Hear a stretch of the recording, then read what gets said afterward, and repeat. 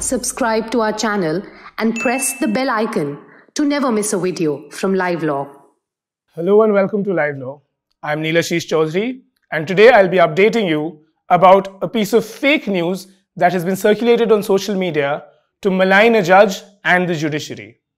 Many of you must have come across and noticed this particular fake post suggesting that Justice Muralidhar, who had heard the Delhi riots case in High Court and now stands transferred to the Punjab and Haryana High Court, was the lawyer for Mrs. Sonia Gandhi.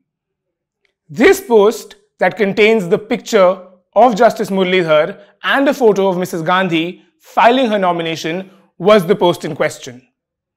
In fact, the lawyer who actually is in the photograph and was assisting Mrs. Gandhi in filing her nominations was in fact a lawyer called Mr. K.C. Kaushik. He's an advocate who's practicing in the Supreme Court.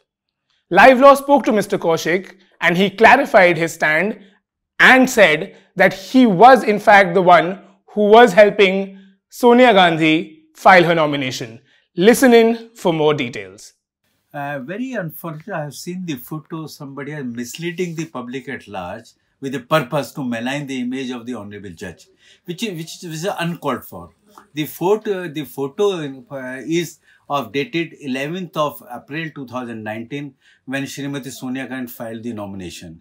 It is in a public domain. I assisted as a lawyer during that time. The photo which is showing the different uh, three or four person in the photo, I am one of them, K.C. Kaushik as a lawyer for, for her. Subscribe to our channel and press the bell icon to never miss a video from Live Law.